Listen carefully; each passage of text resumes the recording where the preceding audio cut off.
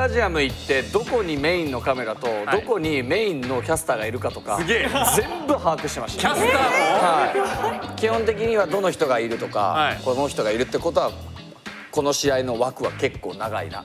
じゃあこの人の前でアクションを起こそうかな。すごい。顔メインスポンサー、はい。全部見せるためにはこうしなきゃいけないって全部考えてました。なるほどね、はい。すごい。はあすごい。ですね福田さんそんなの意識したことあったんですか？一切ない。そんな余裕なかった。そうか。余裕のある人は僕と同い年のなんとかダンスとかあるじゃないですか。あんなダンスとか踊ってる場合じゃないですよね アニメスコープ。見てね